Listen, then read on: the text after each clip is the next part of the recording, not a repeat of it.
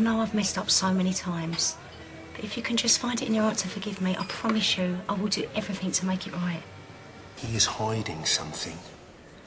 And I need you to help me prove it. You are into this, aren't you? Of course I am. But me and you giving it another go. Well, look, I wouldn't be here otherwise, would I? Come on. Oh, sorry. No, no, no, me and Sam, we were just... Yes, all right, don't have to explain. What does Sam do when she panics, eh? She runs. If she thinks we hate her, plus she's lost Ricky for good, then what, eh?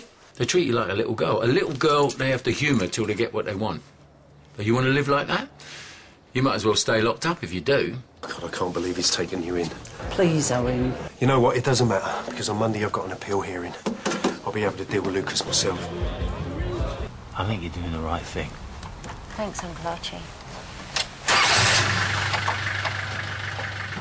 She uh, there's these, love.